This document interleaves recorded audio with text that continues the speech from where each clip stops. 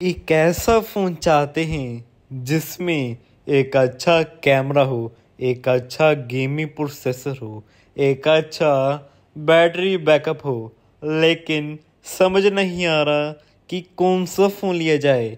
क्या Realme Narzo seventy X five G phone ठीक रहेगा या Realme Narzo N sixty five five G या तो कौन सा फ़ोन लिया जाए? समझ नहीं आ रहा। तो फिर आप सही जगह हैं। मैं इस वीडियो में फुल रिव्यू दूँगा और बताऊँगा कि इन दोनों फ़ोनों में से कौन सा फ़ोन बेस्ट रहेगा। तो चलिए फिर, क्यों ना वीडियो की शुरुआत सबसे पहले नार्जो सेवेंटी एक्स फ़ोन से की जाए।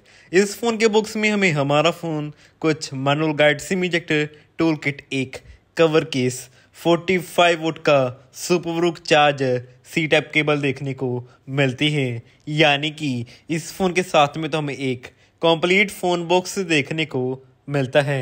तो चलिए, इस फ़ोन के लुक एंड डिज़ाइन की बात करें, जो कि इस फ़ोन में हमें काफ़ी यूनिक कैमरा डिज़ाइन देखने को मिलता है। इस फ़ोन की बैक में हमें matte finish scratchless back body देखने को मिलती है। ओवरऑल लुक वाइज देखने में तो ये फ़ोन काफ़ी बढ़िया लग रहा है। तो चलिए, इस फ़ोन के वेट की बात की जाए, जो कि इस फ़ोन का वेट 188 ग्राम्स है। साथ में इस फ़ोन में हमें 7.7 mm की थिकनेस देखने को मिलती है। ये फ़ोन मुझे हैंडी होने के साथ साथ लाइट वेट भी लगा। तो चलिए, अब इस फ़ोन की डिस्प्ले की बात की जाए, जो कि इस फ़ोन में हमें आईपीएस एलसीडी पैनल देखने को मिलता है with one twenty hertz refresh rate इस फ़ोन की डिस्प्ले हमें 392 पीपी डेंसिटी का resolution 86.5 percent screen to body ratio 6.7 inches का स्क्रीन साइज़ देखने को मिलता है हमें इस फ़ोन में। स्मूथनेस तो है इस फ़ोन के डिस्प्ले में। तो चलिए, अब क्यों ना इस फ़ोन का प्रोसेसर की बात की जाए, जो कि इस फ़ोन में हमें मीडियाटेक डिमेंसिटी 6100 प्लस प्रोसेसर देखने को मिलता है विद 6 नैनोमीटर चिपसेट। जो कि हमारी गेमिंग परफॉर्मेंस को काफ़ी इन्हेंस कर देता है। साथ ही में इस फ़ोन में हमें एंड्रॉयड 14 वर्जन फोर जी तक virtual RAM extend memory side mounted fingerprint sensor hybrid SIM slot देखने को मिलता है हमें इस फ़ोन में। इस फ़ोन में हमें I P fifty four rating audio and speaker performance भी डिसेंट है। इस फ़ोन की। तो चलिए, अब एक अच्छे फ़ोन में एक अच्छा कैमरा तो होना ही चाहिए। इसीलिए इस फ़ोन में हमें डुअल कैमरा सेटअप देखने को मिलता है, जो कि 50 मेगापिक्सल का main camera with 1.8 aperture rate है। दूसरा हमें 2 मेगापिक्सल का डेप्थ कैमरा देखने को मिलता है विद 2.4 अपर्चर रेट इस फ़ोन का कैमरा 1080p 30 fps तक वीडियो रिकॉर्डिंग सपोर्ट करता है। इस फ़ोन में हमें 8 मेगापिक्सल का selfie camera with 2.0 point zero aperture rate साथ में इस फ़ोन में हमें LED flash H D R panorama pro slow motion film dual video mode tilt shifter time lapse जैसे कैमरा फीचर्स भी देखने को मिलते हैं हमें इस फ़ोन में। इस फ़ोन का कैमरा 10x जूम तक सपोर्टेड है। ओवरऑल इस फ़ोन में हमें काफ़ी बढ़िया कैमरा परफॉर्मेंस देखने को मिलती है। इस फ़ोन का कैमरा डे लाइट के साथ नाइट फोटोग्राफी के लिए भी बेस्ट रहेगा।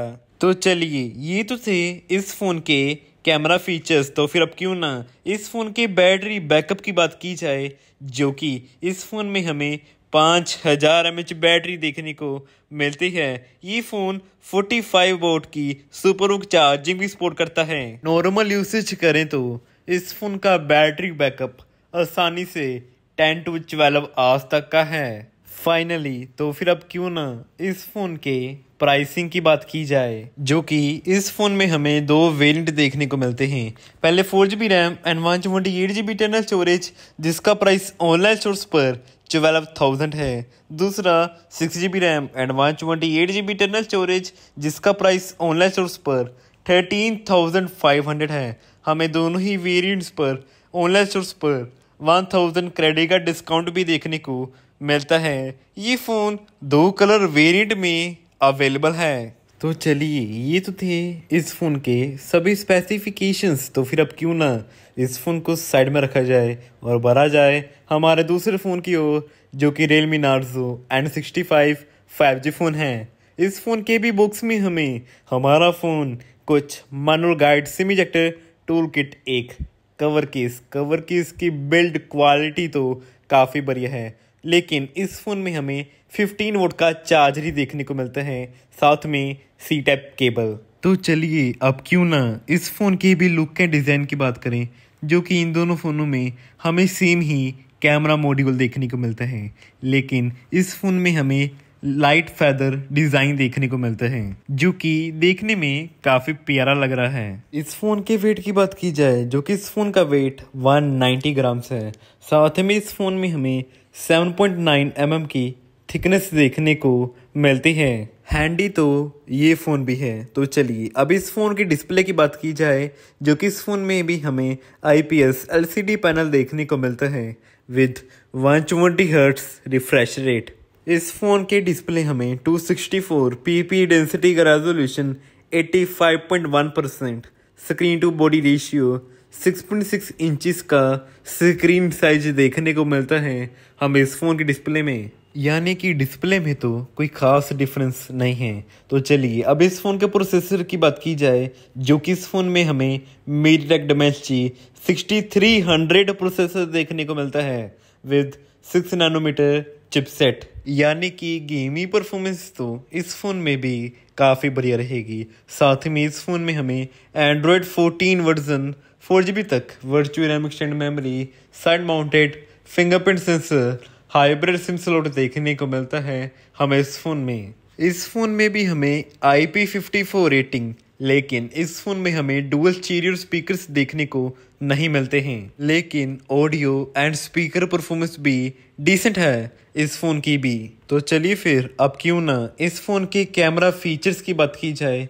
जो कि इस फ़ोन में हमें सिंगल कैमरा सेटअप ही देखने को मिलता है, जो कि 50 मेगापिक्सल का main camera with 1.8 aperture rate है। दूसरा तो हमें एक ऑक्सीलरी लेंस देखने को मिलता है। इस फ़ोन का भी कैमरा 1080p 30fps तक वीडियो रिकॉर्डिंग सपोर्ट करता है। इस फ़ोन में हमें 8 मेगापिक्सल का selfie camera with 2.0 aperture rate साथ ही में इस फ़ोन में हमें L LED flash H D R panorama pro film slow motion dual video mode tilt shifter जैसे कैमरा फीचर्स देखने को मिलते हैं। इस फ़ोन का भी कैमरा 10x जूम तक सपोर्टेड है। कैमरा परफॉर्मेंस तो नो डाउट इस फ़ोन की भी काफ़ी बढ़िया है। इस फ़ोन का भी कैमरा डे लाइट के साथ नाइट फोटोग्राफी के लिए भी बेस्ट रहेगा। बैक कैमरा परफॉर्मेंस तो इस फ़ोन की काफ़ी बढ़िया है, लेकिन सेल्फी कैमरा परफॉर्मेंस मुझे इतनी बढ़िया नहीं लगी। तो चलिए फिर, ये तो थे इस फ़ोन के कैमरा फीचर्स अब इस फ़ोन के बैटरी बैकअप की बात की जाए,